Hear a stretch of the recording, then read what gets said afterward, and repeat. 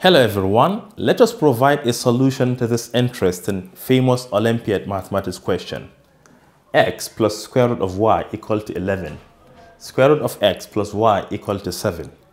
Before you start solving this problem, there are important things you should know. Number one, both x and y are positive numbers greater than 0.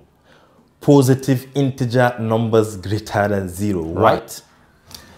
And both x and y are perfect square numbers. Otherwise, we wouldn't have integers to the right. So this is very important. And lastly, don't even try squaring on both sides. You will end up complicating the whole system. Instead, let us subtract.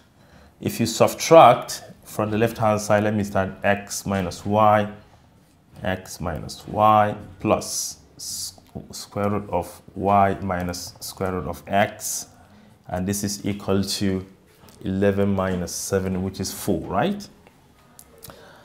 This is x. X minus y is the same thing as square root of x minus square root of y multiplied by square root of x plus square root of y. Do you want to try it? This is nothing but difference of two squares. Take the first time you square that it is going to give you x. Minus, take the second term, square that, it is going to give you y. Therefore, this and this are the same thing.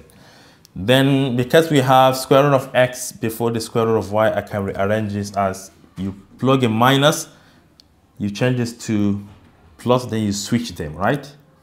This is going to be square root of x minus square root of y.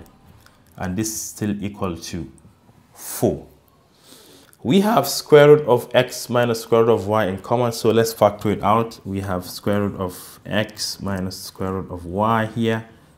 From this, you have square root of x plus square root of y. This divided by this is 1, so we have minus 1. And this is equal to 4. But we have factors, two factors. So what are the factors of 4? And make sure that you take only the positive factors. Yes, because even if x is 0, oh, sorry, even if x is um, 1, for instance, because we have learned that it must be greater than 0. So if it is 1, square root of 1 plus square root of 1 is 2, minus 1 is definitely 1, which is greater than negative. So factors, we could have 1 times 4, or 4 times 1, or 2 times 2. These are the combinations. So if this is 1, then this must be 4. If this is 4, then this must be 1. If this is 2, this must be 2. So let me write it like this.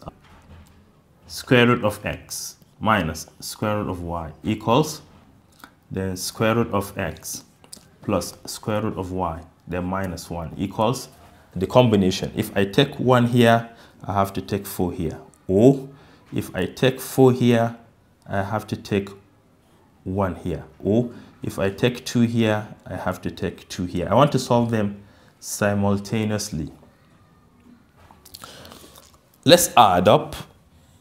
If you add, this and this will be 0. This and this will be 2 of this root x. We have minus 1 to the right. If you take this first combination, you're going to get 5. If you take this one, you're going to get 5. If you take this one, you're going to get 4. So let's continue here. Um, you take negative 1 to the other side, which is going to transform it to positive, leaving only 2 root x to the left, equals 5 plus 1 is 6. 5 plus 1 is also 6. 4 plus 1 is 5. Then you divide both sides by the coefficient, which is 2. So root x is equal to 6 divided by 2 is 3. 6 divided by 2 is also 3. 5 divided by 2 is 5 divided by 2. But remember, it must be integer. So I'm going to discard this. x will be what? You square both sides. So since we have 3, 3, you can take 1. If you square that, you're going to get 9. So x must be equal to 9. And how can we find y? I think we can use this interesting equation here. Square root of x plus y is 7. So already if square root of x plus y is equal to 7, square root of x is already 3. So this is 3 plus y equals 7, which means that y is equal to 7 minus 3, and y is equal to 4. Yeah, remember that all of them are perfect square numbers, so 4 and 9. Can you confirm them? Let's do that. If x is 9, we have 9 here, plus. Square root of y, square root of 4 is 2. Is this 11? Definitely. You can check it here also. Square root of 9 is 3 plus y is 4. Is this 7? Definitely. So the solution to this problem is x equal to 9 and y equal to 4. As simple as that.